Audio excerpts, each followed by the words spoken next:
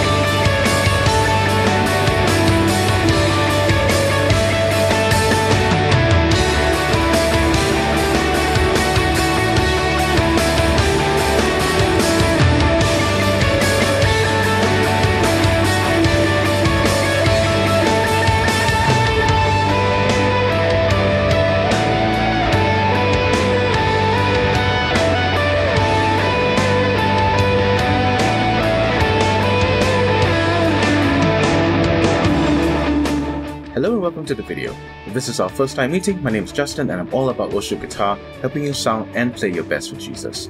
Please consider subscribing, hitting the bell notification button, and heading on over to my Buy Me a Coffee page to download these patches and more to support these videos and my ministry. If you've met before, welcome back. In my previous video, I reviewed my first HX Stomp pedalboard build with my Strymon Mobius Timeline, and Big Sky. I mentioned that it was possible to control the Strifecta using MIDI from the HX Stomp, and some of you have requested for a breakdown as to how to set Command Center up. From here on, it's going to get technical, so please use the chapter markers in this video to jump back to the various sections as often as you need. The name of the game is understanding that HX Stomp transmits MIDI messages, and the Strymons receive MIDI messages. On the 3.0 firmware update, the Stomp can send MIDI messages with Command Center, and you can configure these messages to be sent in a variety of ways, like assigning a dedicated foot switch or to be triggered via snapshots. There are two kinds of MIDI messages, Program Change or PC, and Continuous Controller or CC. PC messages are usually for patch changes, while CC messages are for bypass and expression control. Let's work backwards from your MIDI devices. You're going to enter the global settings on your devices and configure them to be on different MIDI channels so that they don't respond to the same messages that your Stomp will be sending. Think of each of your pedals as houses with distinct addresses. If you want to send a different letter of instructions to each house, the recipients need to be living in different addresses or they will receive the same letter. I set my Strymons to the following channels. Timeline on channel 1, Mobius on channel 2, and Big Sky on channel 3. If I only wanted to change presets on the timeline, I configure the Stomp to transmit via channel 1. I'm going to use snapshots to change presets on my Strymons, so moving between snapshots will trigger different PC and CC messages. To do this, go to Command Center and click on any one of the available instant commands. These are the lightning bolts, and there should be six of them. Select Program Change and under MIDI channel, select 1 then under Program Change, select 0. Now whenever you trigger Snapshot 1, Program Change 0 will be sent via MIDI channel 1, vis-a-vis to the timeline. Special note, the slightly irritating thing to wrap your head around is that Strymon devices display their presets via bank and letter, which are not enumerated. This means that while you program the PC messages from 0, 1, 2, and 3 and so on, the timeline's preset is counted as 0A, 0B, 1A, and 1B.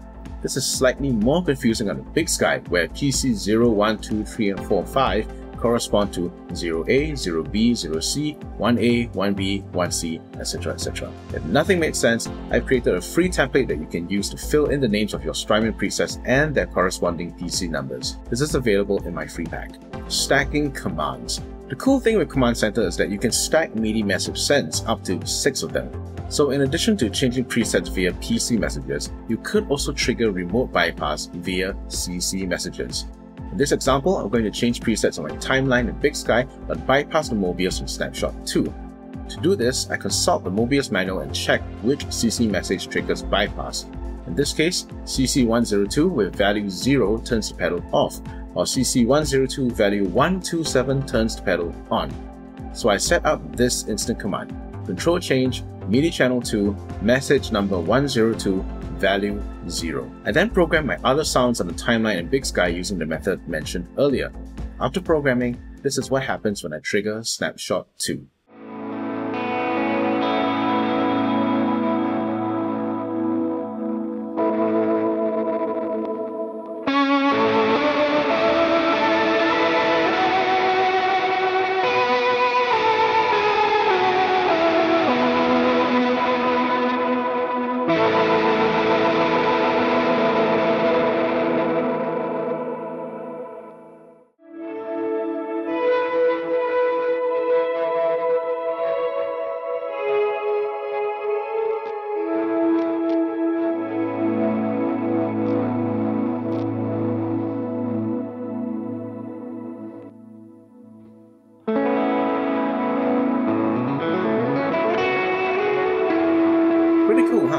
Get the most out of 3 snapshots on HX Stomp, I put my most used Strymon presets on the same bank for snapshot 1. 2 delays, 2 mods, and 3 reverbs are plenty to live 90% of the time in a setlist.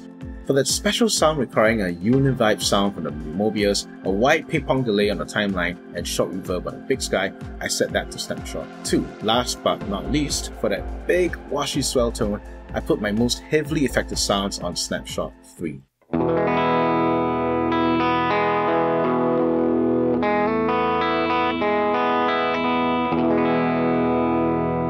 Here's a breakdown of the signal chain and the sounds that I can get from this setup.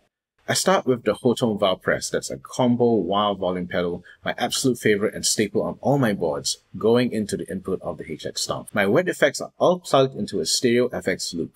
The FX loop has a mono send to the Mobius, then stereo out to the timeline, then to the big sky, terminating with the Neunaber Immerse Mark II. Quick aside, I have a suspicion that the Strymon pedals have some sort of mild bright compression going on, even though they are touted as being true bypass and have no tonal coloration. I can achieve that bright compressed Bethel tone very easily with this setup that I find harder to replicate on the Helix. My timeline has mainly two delays, a darker quarter note with a low mix for up-tempo songs, and a brighter dotted eighth note with high mix.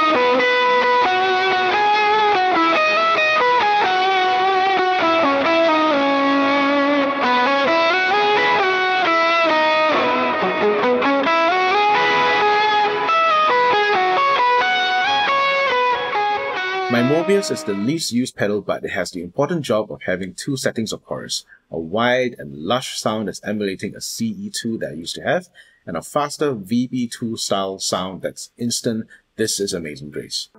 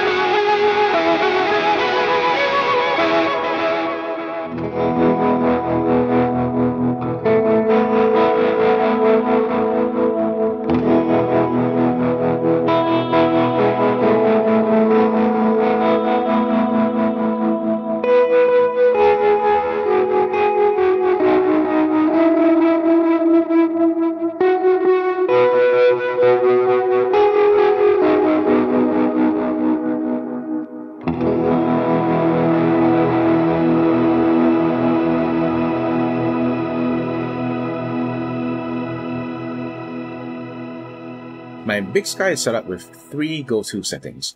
A lower mix modulated hall reverb that emulates an EarthQuaker Devices dispatch master that I used to have, a brighter plate reverb that I use for Bethel style sounds, and a cloud reverb for faux pads.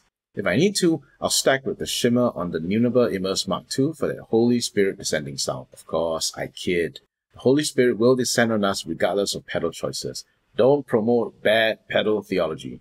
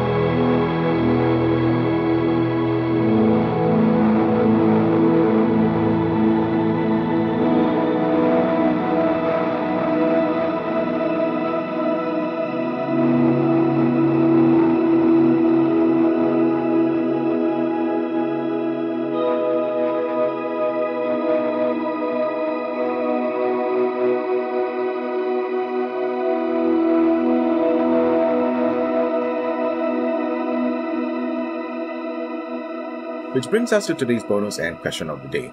This pack is part of my HX Stomp Worship Essentials pack, which contains mostly all-in-one solutions, but I'm now including pedalboard-centric solutions. For you guys who previously bought the pack, it's a free update, so check the folder link. Question of the day. Do you love or hate MIDI? How are you using MIDI to control your pedalboard? I'd love to hear your thoughts and ideas in the comment section below. That's it for me, thanks for watching this video. If you've gotten value out of it, like it and share it with someone whom you know is interested in using the HX Stomp as a simple MIDI controller. Until next time, I'm Justin, and I'm all about worship guitar.